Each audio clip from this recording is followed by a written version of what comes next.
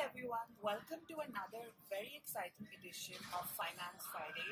And we're going to have an interesting conversation today, very different from the ones we've had before, with two young moms. Just to make a quick introduction, we have with us Malavika. Malavika works with risk advisory at Deloitte and is a new mom, and she's going to talk to us more about it. Uh, Shweta works at the CEO's office at Stride Pharma and is a mom to a young toddler, both girls. And I think this is going to be a fun conversation for me, and I hope it's uh, equally fun for you.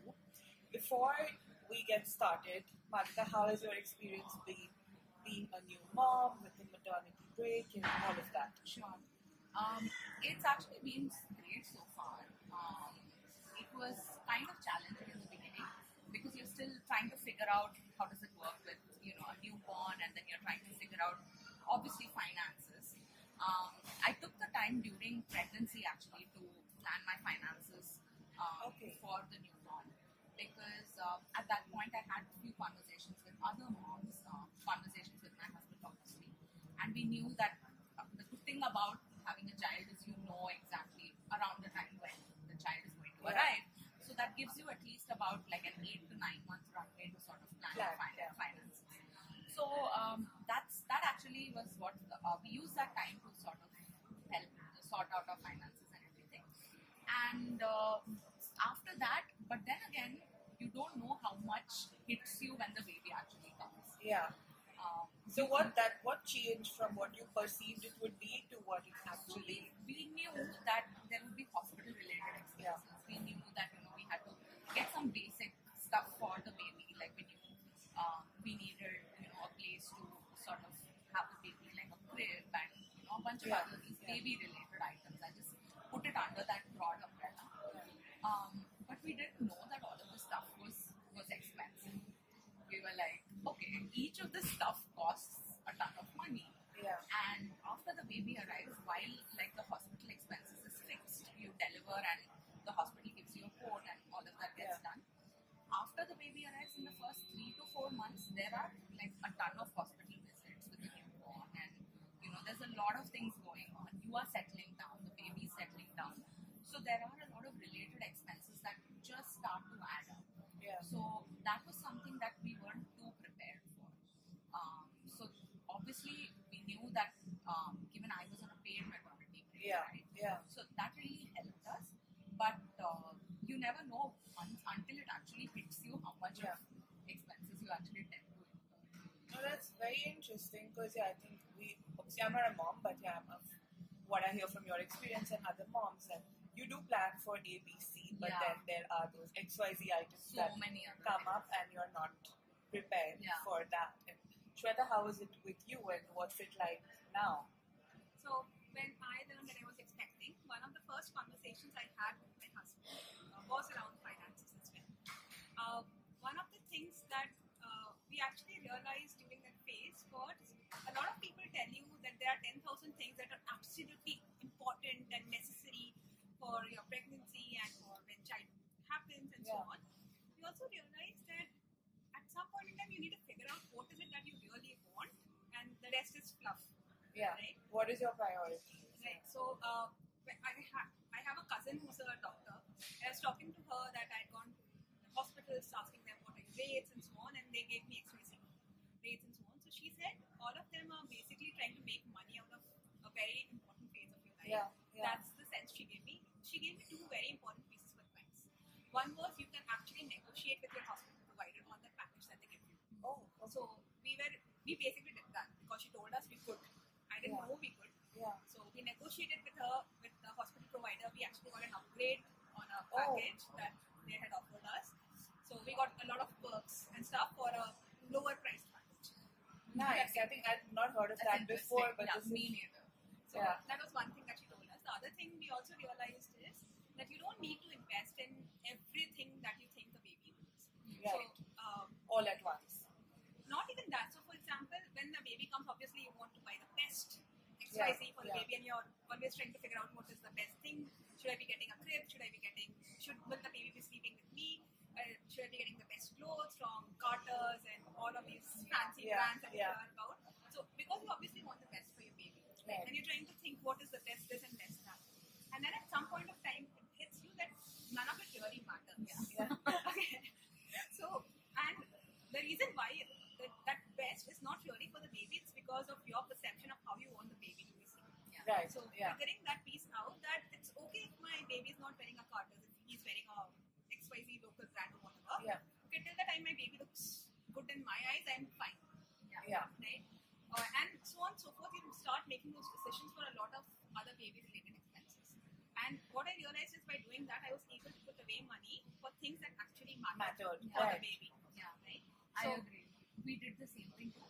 And what we did was we, we took a lot of like hand-me-down stuff from friends. Which Right. makes We told yeah. a lot of Yeah. friends that you know all baby-related stuff, not just clothes, but even other stuff like uh, sometimes- Trolley. and- yeah, like a stroller or a car seat or a, even a crib for that matter. Yeah. Yeah. Um, there are a ton of things that people use for a baby, but then it's all its shelf life is really small. Yeah.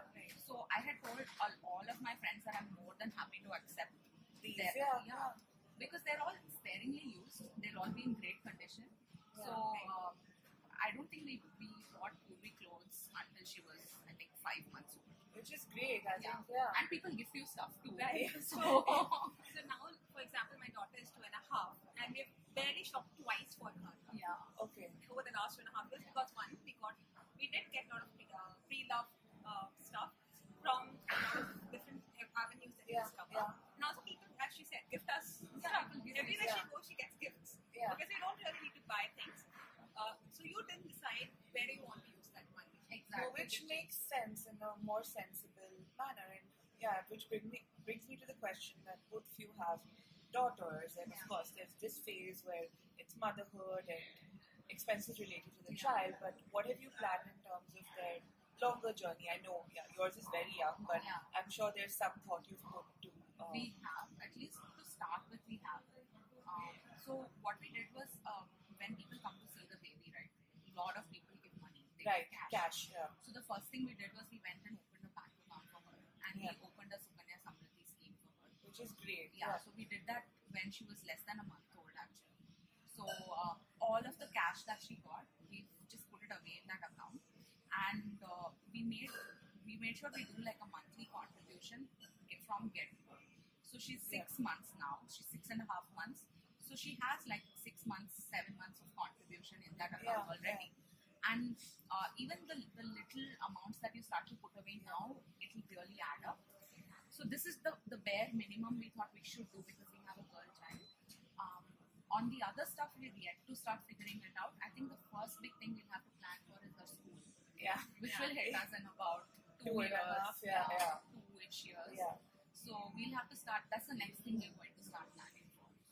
So, so those are the two big ticket items. I guess. So uh, when I was expecting, so around the seven months is when I actually started putting money away for my daughter schools. Right. So I started a school fund for her uh, when I, at that point in time because I was like, anyways, whatever is going to start happening, why wait till I actually get on board? So I just started earlier.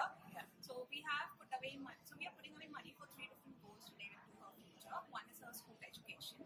The other is her college education. And The third is for her whatever dream she has after finishing her college. Yeah, I'm, I'm glad you said dreams and not marriage, which I is know. a welcome change. Know. So um, that, to be fair, is the way I looked at it. I don't know if she will want to get married right then. Maybe she'll want to do her own thing Yeah, at that point in time. I don't know what she'll want, and why should I presume that this is where it's going? So we just started putting away money there. We also did a Sukanya Samriddhi account for her. We did all her documentation in the first three months when she was born. So a bank account, a Sukanya Samriddhi account, uh, getting her passports, and all of that stuff. Just sorted that out. All the paperwork All the was in order. was in order by the time she was three months. Yeah. Okay. So that was one of the ways I actually spent my paternity leave, getting all her paperwork done and then traveling as much as I could. Yeah. I think which is somewhat different from what we were talking about Yeah. a little earlier today. So yeah, and it was different for me because uh, my pregnancy journey did not allow for me to travel at all. Neither did uh, my immediate postpartum journey. In fact, we've still not traveled anywhere. Yeah. So um, that actually gave us the chance to invest and save as much of our salaries as we could. Right. So given we were pretty much in one place for nine months and now we are for almost seven months. So it's been about 15. 15, 16 Yeah, months. yeah. So we've not had any big ticket expenses except for like the baby related stuff. Right. But that settles down in like two months, two, three months or so. So um, we've put away a lot of money, and my advice to a lot of new parents to be, uh, new parents or parents to be, is that uh, the six month maternity leave that you get, save or invest as much as uh, money you can during that time because Yeah. you don't know if you'll be taking a sabbatical or you will be going back on, say, reduced schedule, reduced pay. Right. I'm doing that myself. So uh, any loss of pay will actually start hitting your bank account. So use the time during pregnancy and during your maternity leave to plan your, uh, say, an emergency fund of sorts. Yeah, yeah. In case you have to take a longer break, which leaves you without pay.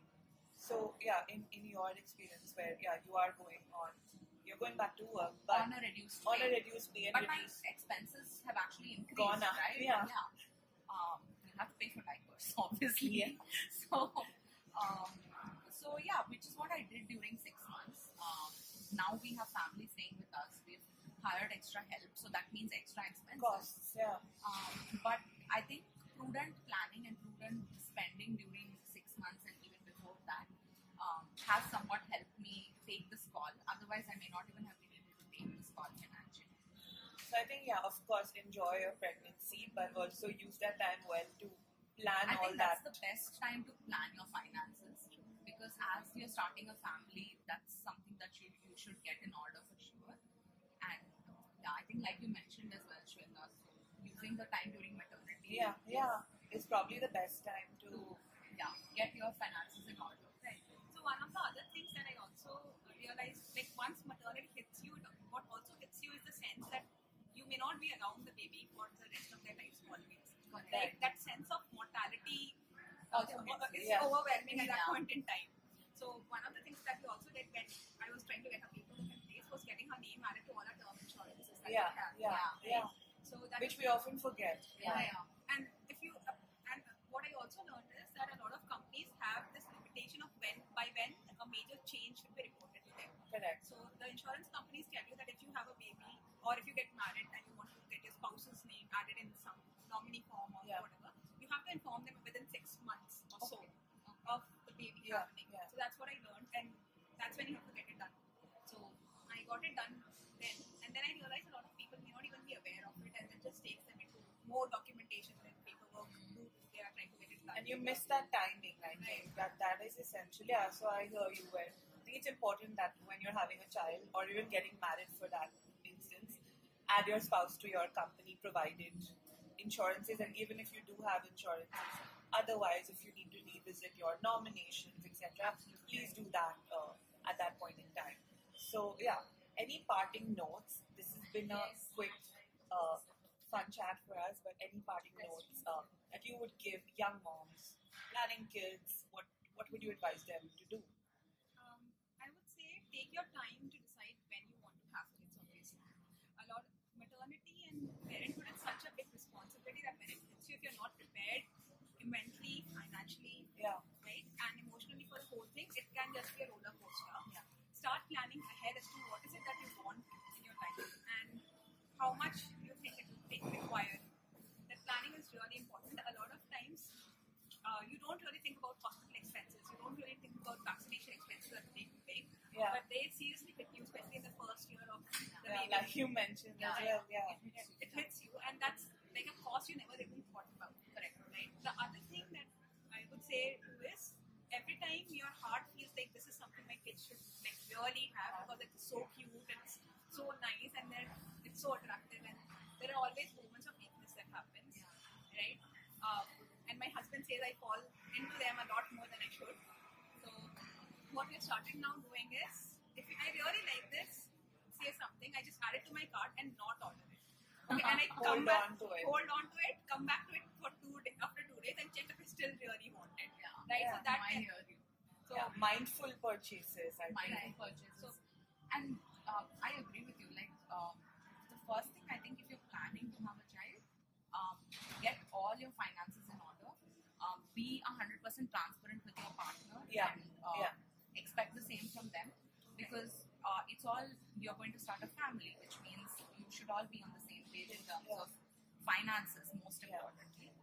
So um, use the time to, to, to get everything in order. Use Right. the time, like Shweta said, to even do all the paperwork and stuff because you have the time to make full use of it. And uh, plan financially for sure before having a child, before even you decide to have a child. Um, and don't just do away with all unnecessary expenses. Like you will realize there's so much stuff, but we don't really need all that All stuff. of that, yeah. Great. Yeah.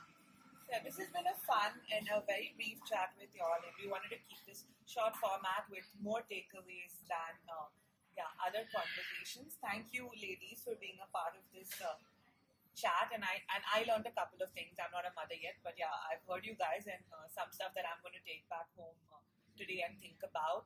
And if you do have any questions for them, please drop them in the comments. Uh, you can also download the Basis app, go through a couple of these conversations about young moms and what they're really doing financially. And yeah, look forward to our upcoming Finance Fridays. Thank you. Thank you. Thank you. Thank Thank you you. for having us.